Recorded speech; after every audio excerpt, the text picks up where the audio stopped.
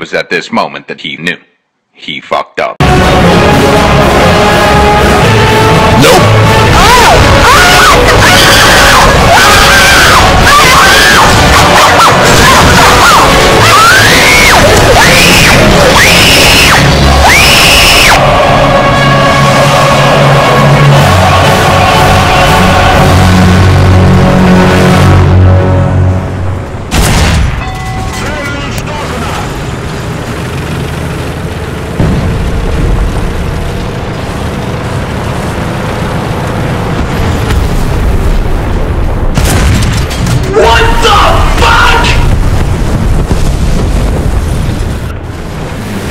Gabriel!